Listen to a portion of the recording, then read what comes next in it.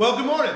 Welcome again to the Bethany Associate Reformed Presbyterian Church as we come together to worship the Lord our God on this blessed Sabbath day. And as we begin today, just a, a few announcements. First of all, uh, thank you again uh, for all your prayers and your support for uh, the Smith family. Uh, Pastor Miss Geneva, again, we give thanks again uh, for her testimony and for the example uh, that she has set for each and every one of us of what it means to be a believer in the Lord Jesus Christ. And we ask you continue to be in prayer uh, for the Smith family and for all of us uh, who will miss uh, dearly Miss Geneva.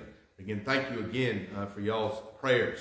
Also, uh, just as a reminder, uh, next Saturday will be our trunk or treat. 4 p.m. will be setup time, and then we'll the event itself will be from 6 to 8 we will have not only uh, trunks and everything else set up back over here, but we'll also have a free hot dog supper in that. And again, um, even if you uh, may not plan to put a card together, we do invite everybody to do that. But even if you're not going to do that, we do invite you to come and to mingle with all the people who are here. Uh, just kind of introduce yourselves in the Bethany Church. Just make everybody feel welcome. So uh, we look forward to seeing everybody there and again enjoying that time of outreach and fellowship uh, here at Bethany. And again, that'll be uh, next Saturday, uh, set up at 4 and start at 6. Also, next Wednesday, uh, this coming Wednesday, I should say, we'll continue with Wednesday night youth group and uh, prayer meeting, which starts at 6.30. We invite everybody uh, for that. Also, just take a look at the other announcements in your bulletin. And if you have any questions about them, just see the people listed there. And again, also, as I saw in the bulletin this morning, I want to give thanks again for y'all's uh, love and support of me and Brandy and our kids. You know, I was looking at Facebook this morning. I usually don't like to check Facebook on Sunday morning because it gets me riled up. But uh, they, uh, I was checking this morning, and uh, Facebook Memories reminded me that on October 24th of 2017 was the day uh, that we moved uh, to Bethany. And we give thanks again for all y'all's love over the past four years and look forward to the number uh, on there, uh, reaching up to some of the uh, higher end ones up there. It's a, a to reach, I guess. But uh, again, thank you again uh, for y'all. But as we begin this morning, uh, let us go ahead and open with a word of prayer.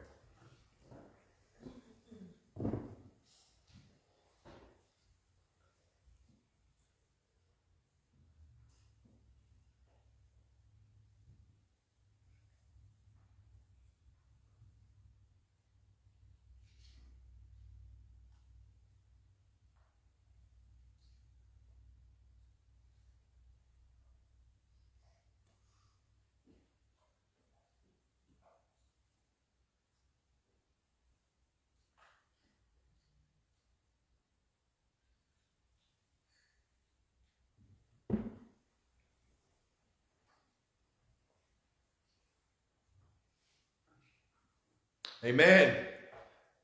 As we come before the Lord God today, we do so uh, by hearing from his holy word as he calls us to worship from 1 Corinthians chapter 15, beginning at verse 1. As we hear these words today, we are reminded again of the blessings that we have, not only in Christ, uh, but in the promises that he's given to us. So we begin today at 1 Corinthians 15, verse 1.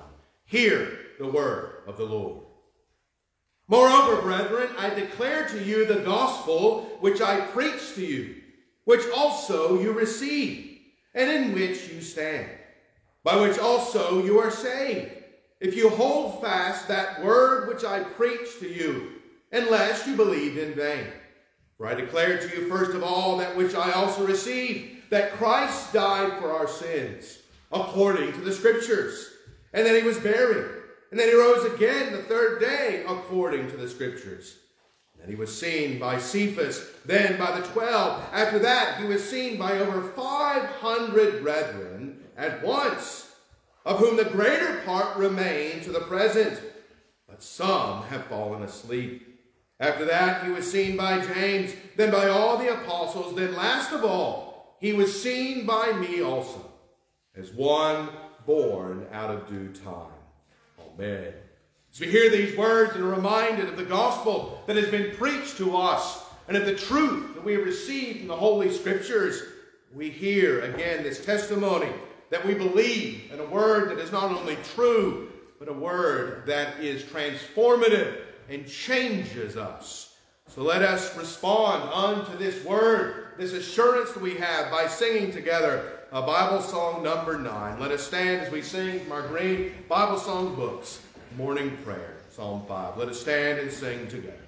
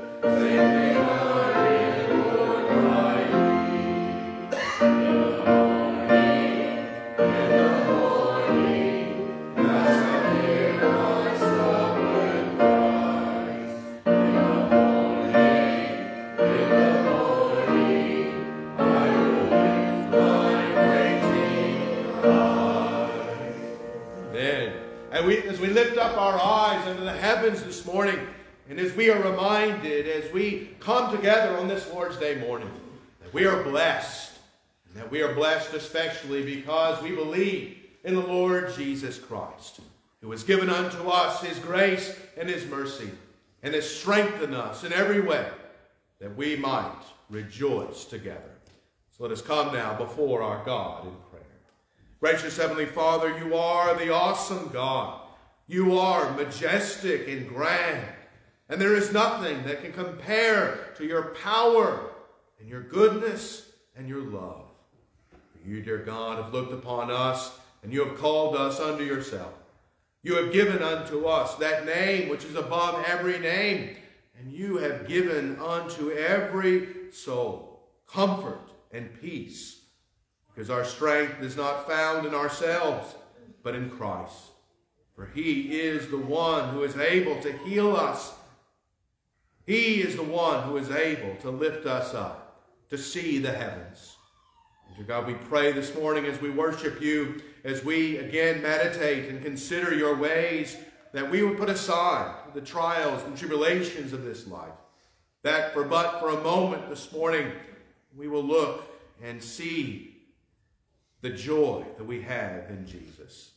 For he is our King, he is our Redeemer, and he is the one who lifts us up each and every morning. We pray these things using the words your Son taught his disciples to pray, saying, Our Father, which art in heaven, hallowed be thy name. Thy kingdom come, thy will be done, in earth as it is in heaven. Give us this day our daily bread, and forgive us our debts as we forgive our debtors and lead us not into temptation, deliver us from evil. For thine is the kingdom, and the power, and the glory forever. Amen. As we continue to worship the Lord, we turn now again uh, to a holy scripture. We Continue to read through the Gospel of Luke. We see the ways in which the Lord is continuing to teach his disciples. And today we come to the parable of the minas as we hear from the Lord Jesus. Again, Luke 19, beginning there at verse 11.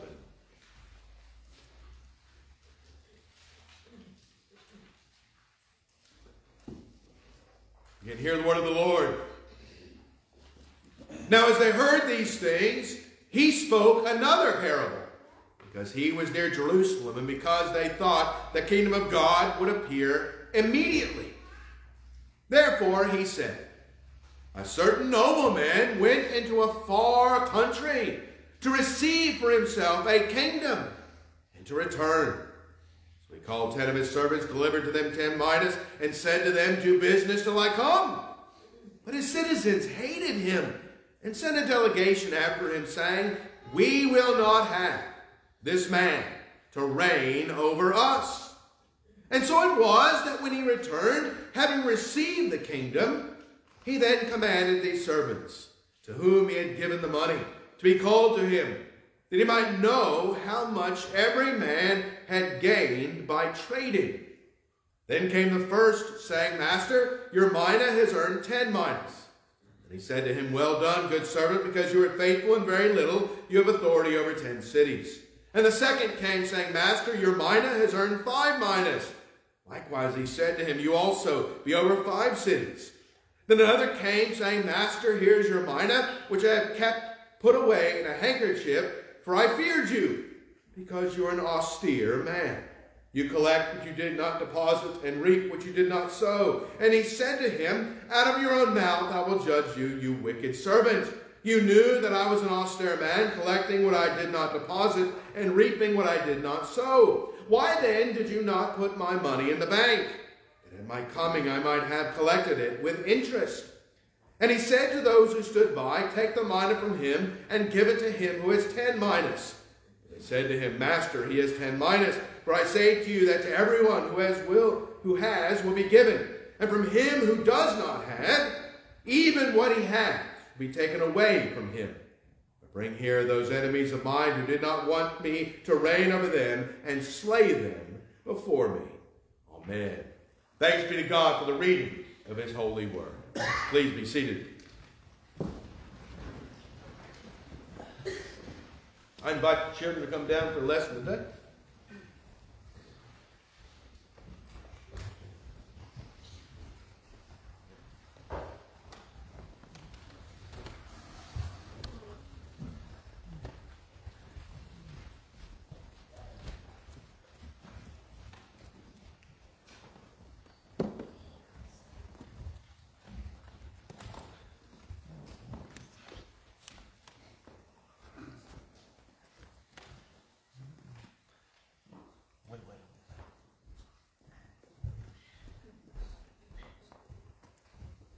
Well, good morning, everybody. Good morning. How are y'all doing today? Good Good deal. Well, we just read a parable. Now, does anybody have any idea what a parable is? Story. That's right, it's a story. Now, what kind of story do you think a parable is? Anybody have any idea? Uh, All right, it's a story God tells. What else? That's right. Story from the Bible. Well, it's a story that Jesus is using to help us understand something that's more complicated. Now, when we hear about a minus, does anybody know what a minus is? A minus is like when you subtract. That's right. A minus is when you subtract. That's right. Well, in the Bible, a minus is like a dollar. Okay, it's a it's a unit of uh, uh, of, of money. Okay, so these guys were given minuses. Right, spelled M-I-N-A-S, and they were supposed to do something with them.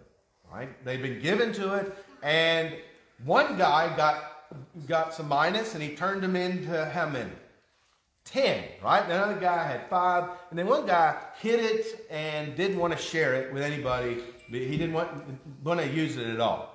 Now, sometimes we hear this story, it can sound kind of strange because this guy you know, thought he was doing the right thing, right? He received this gift and he just held it to himself.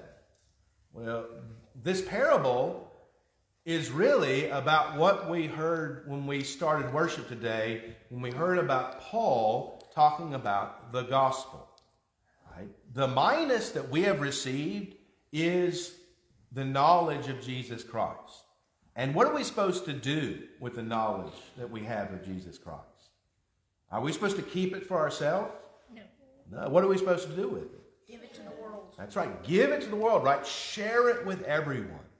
And so when we think about this gospel that we've been given, we believe, right, that we sin, right, that we do bad stuff, and that we uh, need to be forgiven for doing bad stuff. Now, who alone is able to forgive us? Uh, God, Jesus. That's right. God and Jesus, right?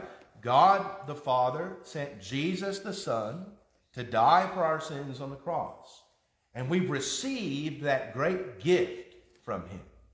And that gift is not just for us, but it's for the whole world, right? And who are we supposed to, uh, who is the whole world? Uh, God. God. Well, not God. Who, who lives in the world? Us. People, right? Now, are we just supposed to share it with people at Bethany? No. No. We share with everyone in the whole wide world. That's right. China, Australia, Japan. That's right. Asia. All the countries of the world, right? And we do that through you know, supporting missionaries, but we also do it by just sharing that news with people we know, right? With friends, with family, and, and telling them about Jesus. And so that's what that parable of the minus, which seems so weird to us, right? Because uh, when, when you went to Walmart last time, did you try to pay with a minus? No. Now, what would happen if you went to Walmart and tried to pay with a minus? They would decline it. That's, that's right, because they don't accept minuses at Walmart, right? They accept dollars. Well, you have something that you can share and that will be accepted, right? You have the gospel. And don't be afraid to share that with people, okay? Let's pray. Gracious Heavenly Father, we give thanks again for the good news that we've received, that we have been given this great gift. Let us not keep it for ourselves, but let us share it with others. And in Christ's name we pray. Amen.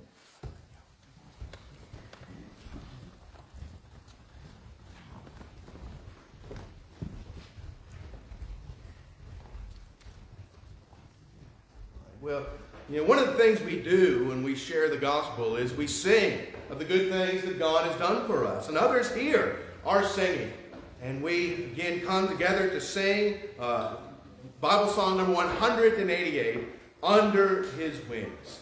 So let us sing together the deliverance that we received in Christ. And let us stand and sing with joy and thanksgiving.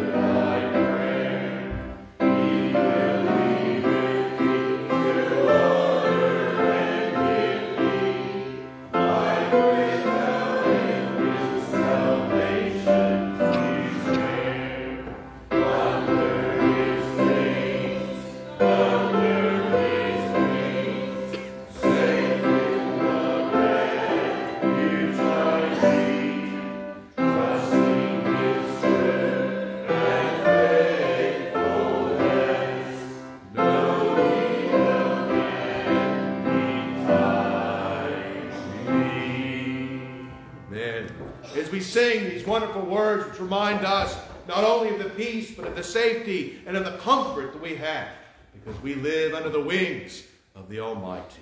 Amen and amen. Let us be seated as we come before the Lord our God in prayer.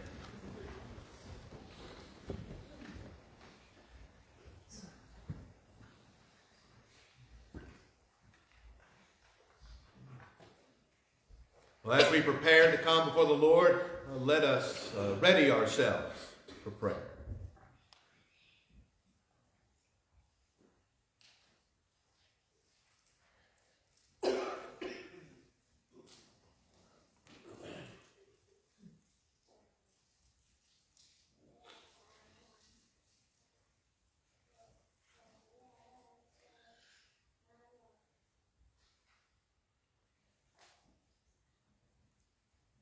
Let us pray. The God of Abraham, Isaac, and Jacob, the God who has guided us through all of danger and all of trial and all the tribulations that we have faced in this life. The God who, even when it seemed as if he was absent, was ever present with us. The God who has loved us from the very day of our conception, and the God who will bring us safely unto the land of promise. God, again, who has seen us in our trouble, has seen us in our darkness, has seen us in our own sin, and has washed us in the blood of his Son, who has given unto us refuge in his own arms. We think of the promise that we read in John chapter 10 that we are in the arms of Christ and Christ is held in the arms of the Father. That there is no power, no power made by man that can ever take us away from him. Dear God, as we think upon that blessed truth this morning, let us draw strength from its reality let us shout down uh, those voices which tell us that we are not good enough to be in Christ. That we have done too many bad things to be saved. For to God, we know that our sinfulness is greater than even we can imagine. But we also know that your grace is more than sufficient for us. Your grace is the answer for all of our transgressions. That no matter how many times Satan uh, uh, looks at us and calls us out for our past sins, we can call back unto the evil one and say, Yes, but Christ is greater. Christ has paid the penalty for that sin. Christ has taken that sin and thrown it as far as the east is from the west and no longer is even in the eyes of God. Dear God, as we do think about the magnificence of salvation and the redemption that we have in Christ, dear God, may we draw this morning your peace of the, in that truth. May we, dear God, see ourselves as Christ sees us, as members of his covenant family as those who have been adopted into that household, who are receiving the very inheritance promised unto Abraham, that we are the very people of God. And that while, again, we may be going through difficulties in the flesh, while we may be facing many, many difficulties, we know, dear God, that they are temporary that they are not forever, that you, dear God, will relieve us of them. God, as we do consider those truths today, God, may we see more clearly your promise. Dear God, as we pray these things this morning and as we think upon again uh, just so many things that are on our mind, God, may we lay them all at your feet. May we know that you are able to answer our prayers. That what is impossible with man is possible with God. May we take time during the week to lift up our needs unto you. May we remember that you have given unto us such a glorious opportunity that wherever we are, whatever it is that we are doing, that you are present. And that you are ready to hear the prayers of your people because we are united to Christ by faith.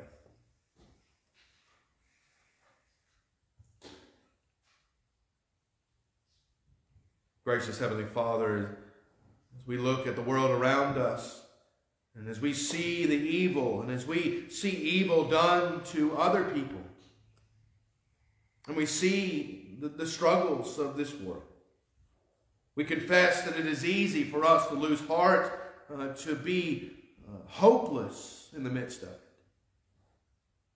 Dear God, we know that you are the sovereign God, and that your hand is truly over all things. And that you, dear God, are working all things out to your glory in your time. And so we pray this morning, dear God, for patience. We pray for perseverance. We pray, dear God, that we would see with your eyes and not with the eyes of the flesh. And that we would remember that uh, many times in the scriptures, uh, your people waited 40 years, 40 days, 70 years for your promise to come to pass, but each and every time you were faithful. Dear God, may we rest in that faithfulness this morning. May we trust in your word and in your assurances. For your ways are greater than our ways, and your wisdom is greater than our own. Dear God, as we uh, lift up again the needs of this congregation this morning, as we pray uh, for those who continue to deal with physical ailments. Dear God, we pray that you would bring healing unto their body. We pray, dear God, that you would bring answers as to how best to treat. Dear God, we do pray for their doctors and their nurses and the administrators at the hospitals and facilities. Dear God, we pray for them especially today. We know that they have uh, quite a bit on their plate quite a bit of pressures coming from all sorts of directions. And dear God, we do pray uh, that you will give them, again, your peace as they go about their labors. But especially, dear God, as they uh, do what they do with those who are dear unto us. Dear God, we pray this morning uh, not only for those who are struggling in these ways, but those who are wandering in uh, spiritual ways. We pray, dear God, that they uh, would be comforted, even if they refuse to be comforted. That, dear God, you would forever pursue them and bring them back into the fold. We pray, dear God, that you would soften their hearts, soften their minds to receive your word.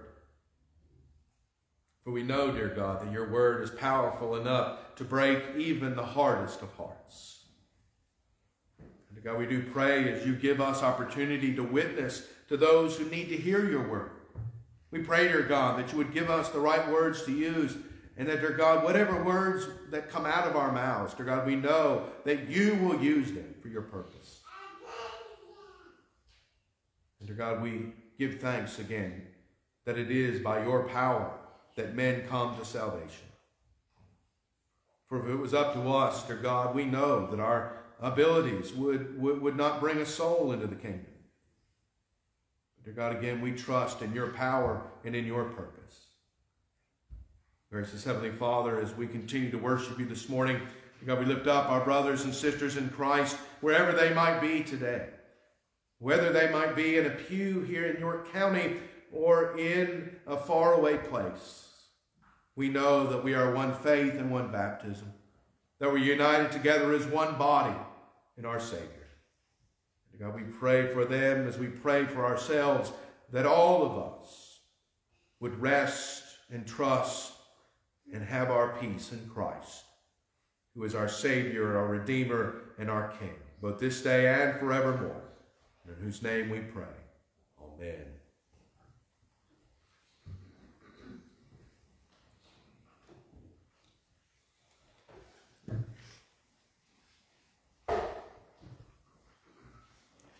I invite you to stand this morning as we come to our sermon text today, which comes from the book of Genesis, chapter 3. We'll be looking at verses 1 through 7. Again, as we come to the reading of God's Word, again, let us stand.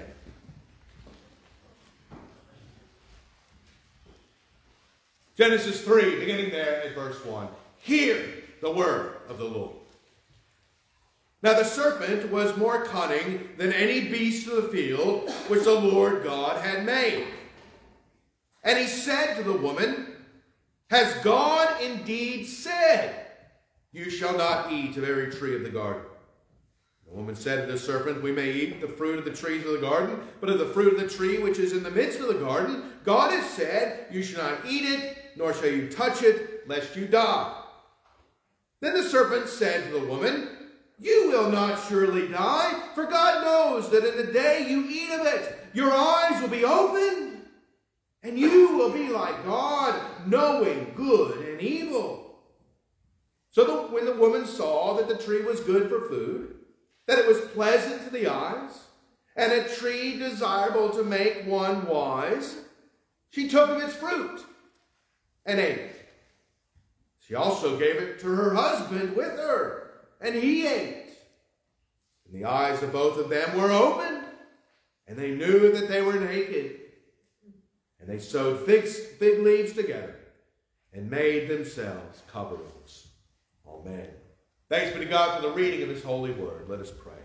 Gracious Heavenly Father, as you, by your providence, have given unto us these words of Scripture today, we pray, dear God, that your Holy Spirit will open our hearts and our minds to receive your truth. And in Christ's name we pray. Amen. Please be seated.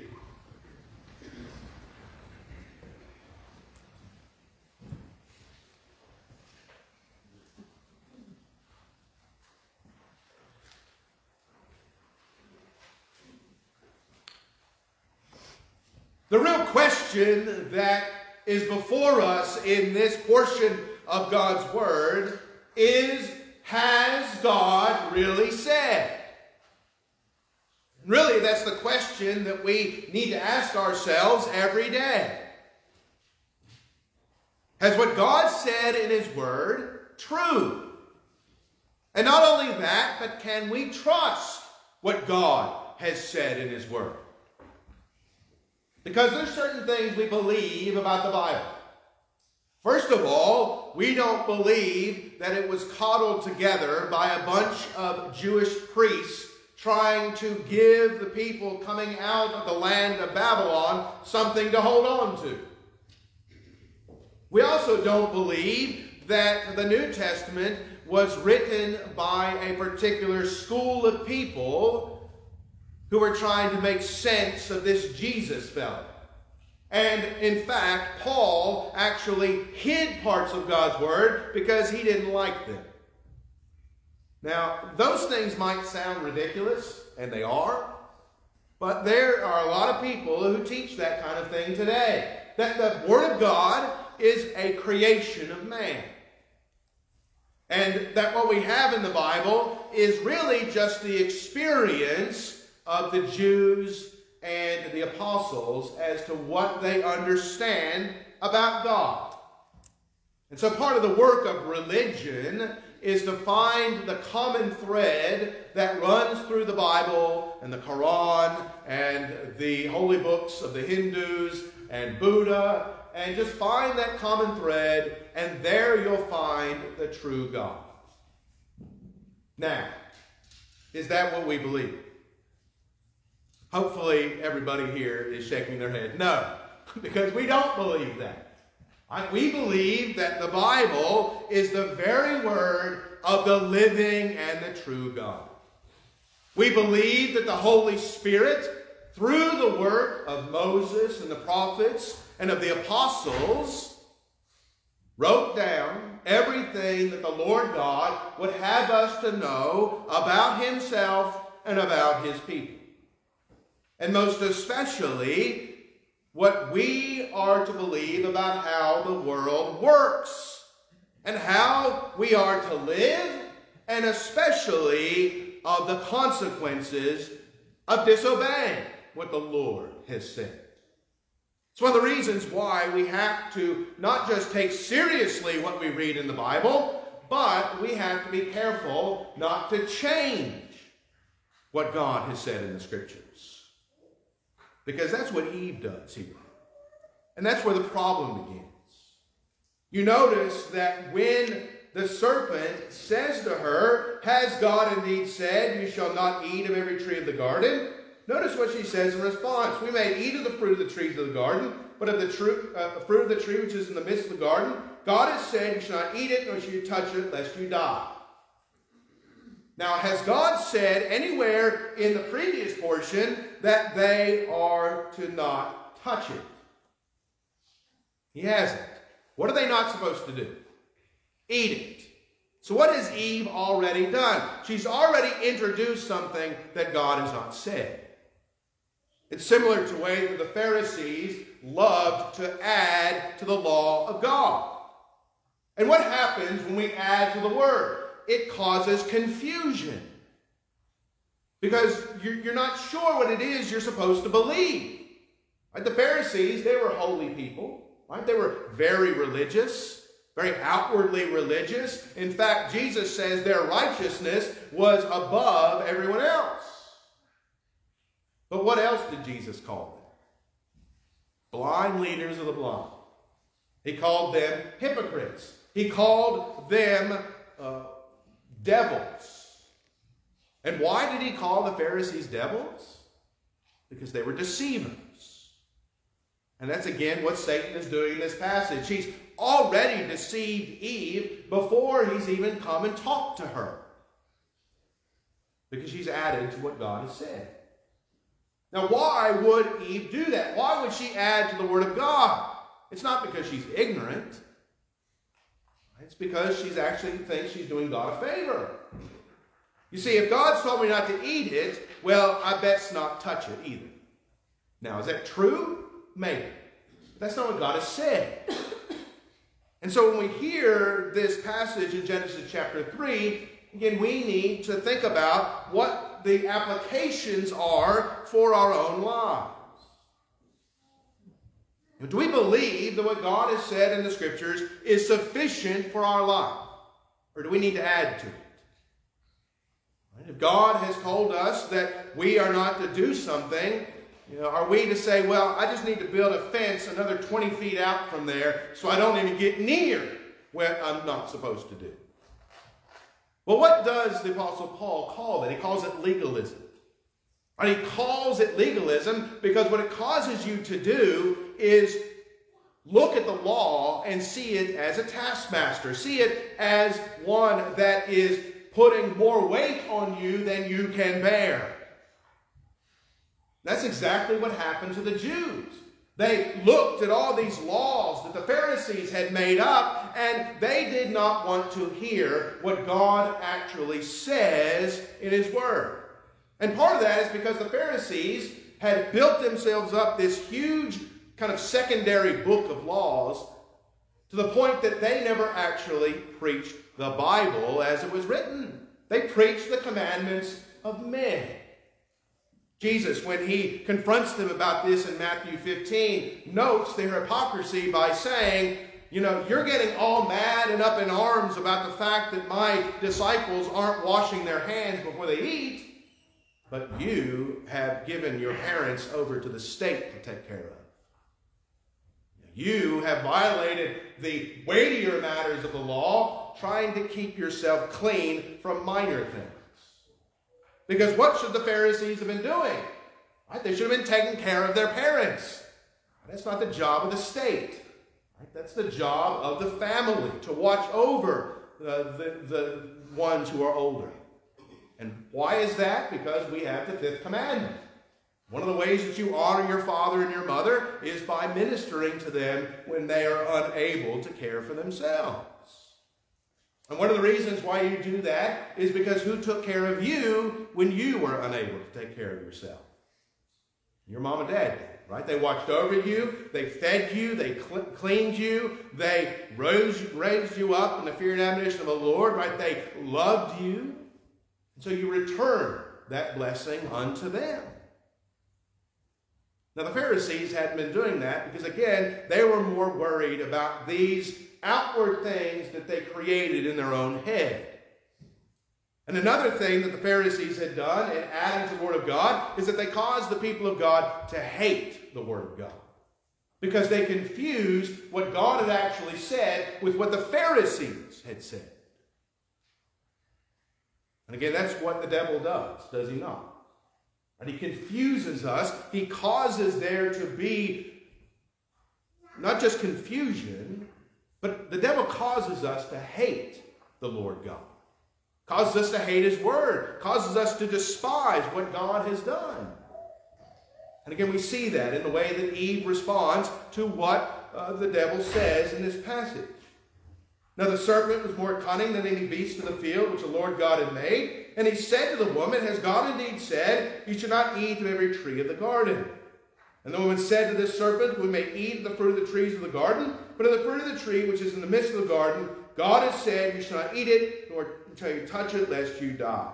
Then the serpent said to the woman, You will not surely die, for God knows that in the day you eat of it, your eyes will be opened, and you will be like God, knowing good and evil. Well, again, in a sense, the devil's not wrong. Because what are they going to learn about when they eat the forbidden fruit? They're going to learn about evil. They're going to learn about wickedness. They're going to learn about sin. They're going to learn about all of the wicked things that are possible. And how do we know that this is the case? Because as soon as, as soon as Adam eats of the fruit, and we'll get into that in a second, but as soon as Adam eats of the fruit, what do they notice about themselves? That they're naked. Now, why would they notice that? Because remember, at the end of chapter 2, the passage that we read last week, they were naked and not ashamed. Their nakedness was not a problem because it was not shameful. But now it is. And why has it become shameful? Because of the introduction of sin. Because what does Adam's mind do now when he sees his wife? What does Adam's mind do now when he sees the nakedness? What, what, is, what happens? Again, it ruins this relationship. Because now they're ashamed of their nakedness. Right? Adam sees imperfections that he didn't notice before. Right? Adam is drawn to lust in ways that he wasn't before. Right? Destruction and deviancy that come with sin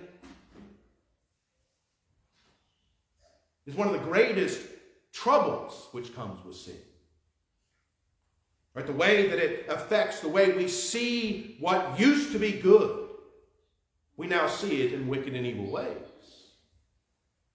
You know, one of the catechism questions that we went through a couple weeks ago is what is sin? Sin is any want of conformity unto or transgression of the law of God. And what we see happening here is that first half, that want of conformity.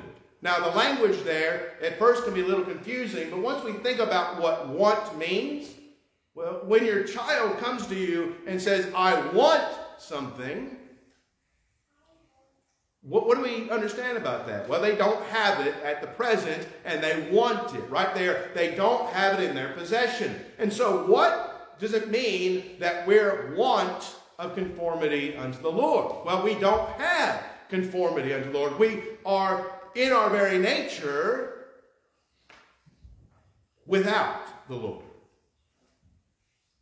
And so that's another thing that we see here about the shame that comes from sin.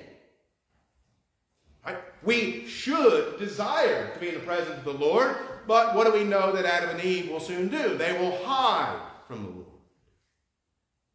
Right? They will be afraid of the Lord in ways that they had not been before. Right? There's good fear and bad fear. Right? The good fear of the Lord is that you recognize who God is and you respect the respect God, you serve him and you desire him. Right? The bad fear of the Lord is that you are afraid of him and you don't want to be near him. In fact, you order your entire life so that you don't even have to be confronted by the Lord. And that's what they do. And notice something else about their hiding. How, how do they cover themselves? We're told there in uh, verse 7 that they made fig leaves together and made themselves coverings. Now, is that sufficient to cover their nakedness? No, it's not. Right? It, it's, it's not even close to being sufficient to cover their nakedness. But, you know, there's a bigger point going on here, isn't there? It's not just about the fact that they can see their naked bodies, but they can see the shame. And they're seeking to cover themselves because they know they need to be covered. One of the lessons that God is going to do at the end of chapter 3, uh, that, that we'll talk about in more detail later, is you notice that when they are being confronted by the Lord and after they've received the curse in verse 21, we're told that the Lord God made tunics of skin and clothed them. So God has taken the attempt that they had of covering themselves and he has now given them a proper covering. Covered them with skin because one of the things that happens when sin enters the world is now it gets cold and it gets hot. We don't usually think of sin in that way, but you know, sin brought weather into the world. Right? Sin made it hot. Sin made it cold. Sin made it so that you had to wear different clothing at different times of the year. Well, if you're living in a cold climate, is fig leaves going to be sufficient? No. What do you need? You need the hide of an animal to warm yourself. Now, is God really just making them a hide of an animal so that they'll be warm in the winter? That's not really what God is doing, is it? Right? In that picture, we see the only answer for the shame that we feel in sin. It is death which is necessary. Because that wasn't present before Adam ate of the fruit. Right? Death is an interloper. It is an unnatural thing. It's one of the things we believe again about creation that not only did lions eat vegetables, but we believe that there was no death of any kind before Adam ate of the fruit. And we believe that again because it's not just a bad thing for humans to die, but it's a bad thing for all animals to die. It should not be like this. Right? It should be the case that everything lives in felicity. Everything lives in peace. Everything lives in comfort with one another. The lamb should not be afraid of the lion. And we should not be afraid of our brother. But sin has brought that into the world. And God says that the only solution for it is death. The only thing that can kill death is death.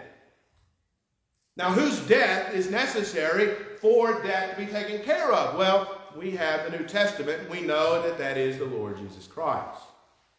We know that only the Lord our God, in sending his Son, could redeem, bring back that peace that existed in the garden. And that's what's pictured there in the death of the animal. To show them, again, what Adam's sin has caused in the world. And he covers them and he gives this. But back here at the beginning, as they are being introduced to evil, being introduced to wickedness, again, it all begins here with this questioning of the authority of God and of the word that he's given to his people. Not only do we see Eve add to the word of God, not only do we see her testify that she doesn't believe what God has said is enough for her, but we also see her believe the serpent when he says, You will not surely die. For God knows in the day you eat of it, your eyes will be open, you will be like God, knowing good and evil. Again, her understanding of God is not enough in her eyes, right? She wants to know more about the world. Now, God wanted her to know that, what would he have done? He'd have told her. One of the things about being a human being, one of the things about being a creature, is that we have to understand that we are not meant to know everything. We're not meant to have the kind of knowledge that God has. Because what is God?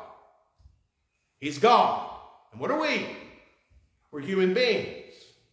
And so part of being a human being is being uh, you of the understanding, of the mindset that we are to be thankful and see again the word that we've been given, Genesis 1 to, to Revelation 22, as being enough for what we need from day to day. We need to see the sufficiency of the word and we need to rest in it. We need again to understand that the secret things belong to the Lord and the things that we are to know we have been given. And in saying that, we need to be comforted in that truth. Because if we knew what God knew, could we handle it? Could, could, could our finite human brains handle the immensity of the eternal mind of the Lord? Well, I'm sure some people think they could, but we can't because of who we are. And that's one of the hardest things is to be humble in the face of the knowledge of God. To recognize again that we're not God, and that if God has told us not to eat of the tree of the garden, what are we supposed to do? Not eat of it. And what happens a lot of times when your kids start asking you 9,000 questions about something? What, what eventually do you end up saying? Because I said so. Now, sometimes you say that because you're just tired of hearing that question for the 9,000th time. But also, it's because sometimes there are things that children cannot understand about how the world works, right? Mature things that they're not ready to receive. And the same is true of the Christian life, of the believer. Right? There are things that we are just not meant to understand. But what are we meant to understand? Again, that the word that we have received is enough for us. And we're to be satisfied in that. Because what happens every time someone in the Bible tries to kind of get above their raisin, as it were? When tries to do more than they have been told to do? Trouble always comes.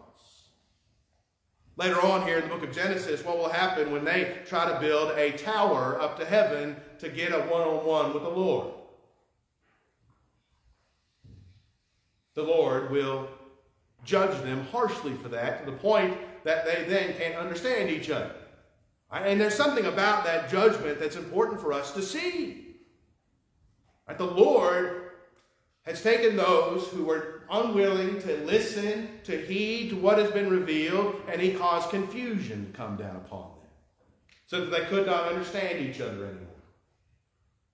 And that's something, again, that we see in the midst of this garden picture with the serpent and the evil one who's come in. Because how did Satan come to be to begin with?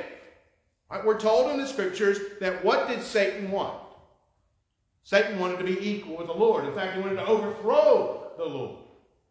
He was not satisfied with being an angel. And he wasn't just any angel, remember. Right? Satan was the most fairest of the angels. You know, sometimes we have pictures of Satan and he has you know, horns and he's dressed in some weird red cape outfit and he has this um, you know, thingamajigger, I don't remember what it's called, the staff thing with the points on it. Um, he has that thing, right? But that's not how Satan is presented to us in the scriptures. and how does Satan often appear to us? As an angel of light, as the fairest of all things. And why is it that is it important for us to remember that Satan is not something that we would want to run from, but something that we would run to? Because Satan understands how our minds work. Right? If he showed up as that guy with horns on his head, what would we do? Would we listen to him? Not likely, right? We would run from him. We would be afraid of him. But if he comes to us with sweet words, he comes to us with temptation. He comes to us, you know, with that sweet, cunning voice. What are we more likely to do? We're likely to listen to him, right? And isn't that how sin often presents itself to us? Right? Sin comes to us and says, you know what? If you do this, you'll be happy. Right? If you, if you go and engage in this, you'll be better off than how you are right now. Right? You- the, the grass is always greener on the other side, in the words of Satan. And that's exactly what he's doing here with Eve, isn't he? He's saying, hey, you're not going to die. The reality is, is you're going to become just like God. You're going to know good and evil. And you're going to be just as powerful as him. And the reason why he's keeping this from you is because he doesn't want you to be like him. Like he's just being a big meanie pants. And he, he, he won't let you do these things. But again, what is the Lord saying? The Lord's saying that, look, you can eat of every tree in the garden. You can have peace. You can have comfort. You can have no shame whatsoever. And you can live in this garden until it is time for you to move on. But is that enough for Adam? Evidently not, is it? Because the first time Satan comes, they heed his call. And it all comes again from the lack of humility, the lack of seeing the, the, the glory of God, the sufficiency of God, the blessing of God, and wanting something that is not theirs to have. It's one of the things we're meant to learn from this passage, especially as we think of our own walk in Christ, is that question. Are we satisfied in the Lord? Are we satisfied with the salvation that we have received in Jesus Christ, or do we want something more than that? Remember, what was it that made Judas so angry about Jesus Christ? That made him angry enough to turn Jesus into the authorities for 30 pieces of silver. And yes, 30 pieces of silver is like giving somebody 20 bucks. It's not exactly a grand reward. Why was he willing to do that? Because Jesus was not who he thought Jesus should be. He wanted Jesus to be that second David that came with a sword and rid the land of the Roman Empire. Now, think for a moment why that would have been a good thing.